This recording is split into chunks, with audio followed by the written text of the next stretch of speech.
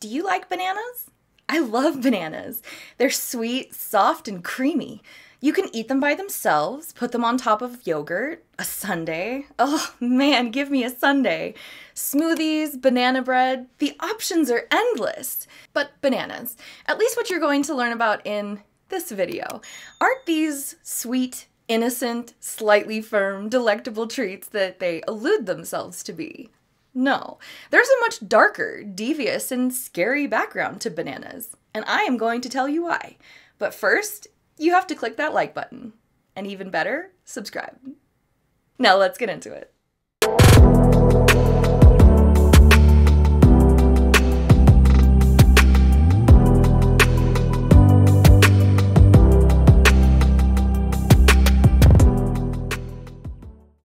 So, did I get you with a little bit of clickbait? Yes. Yes, I did. But it's for the greater good, I promise. People don't like to hear bad news, which I get. Every day seems to bring us more and more bad news.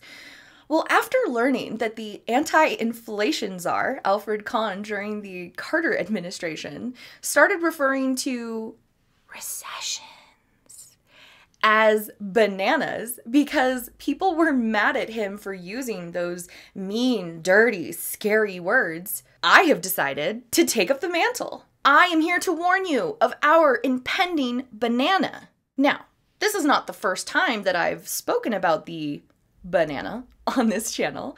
Granted, this is the first time that I'm referring to it as a banana, but the evidence is there. We are most likely in a banana right now. And we are heading towards an even more turbulent and unforeseeable banana, the likes of which we have really never seen before. This banana could be larger than what was experienced in the 30s and possibly in 2008. There's a lot of reasons to be worried about a banana, and here's why. The SVB collapse on March 10th, the Signature Bank fail on March 12th, First Republic Bank requiring a $30 billion cash injection from other banks on March 16th, and Credit Suisse being sold to its biggest rival on March 19th. All of this is spelling out the fears of a worsening banana on the horizon. Making matters more concerning for the possibility of an impending banana is the mortgage industry. Both commercial and residential mortgages are getting more expensive, and banks are getting less and less inclined to loan, which is not a good sign either. When banks scale back loans, it means that businesses and companies that normally use those loans to expand and innovate will no longer have the capability, which means that profit creation for those companies is going to slow. And that means more layoffs. Another thing that I have talked about a lot here. All of these things are going to increase and cause the situation that we are starting to see.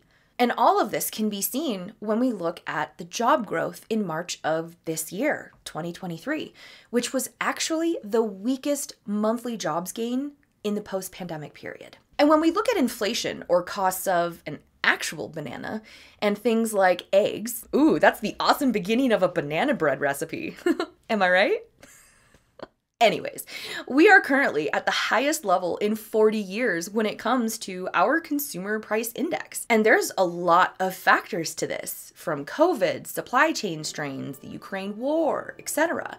The reasons are there, but that doesn't change the fact that bananas, the actual real bananas, are going to keep increasing in cost until something is done. There's a lot of signs pointing to a banana right now. And there are some people among the Biden administration, especially those that are continuing to act like the impending banana we are about to face is not going to happen. But they are banking on the continued growth of the banana, I mean, economy, which they are looking at in very specific parameters.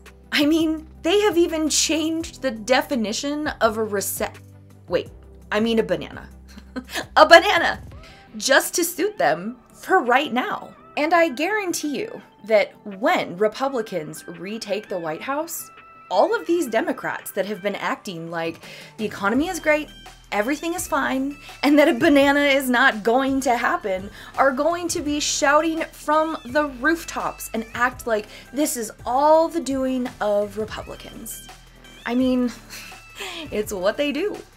Honestly, I don't know what to say anymore, as a lot of you have likely clicked away at this point because I played a game with your heartstrings, which I'm a little sad about. But honestly, this is the state of things right now. I'm using a banana prop to explain our economic situation. I'm the one feeling more like a dork for sure. If you want to learn more about the serious aspects of all that has been discussed here, check out the links in the description box below. To all that have stuck around this long, aren't you glad I educated you about our financial banana? oh, come on, you know you like it. Now show me. Hit that like button. Thanks for watching, loves. I hope this video was appealing.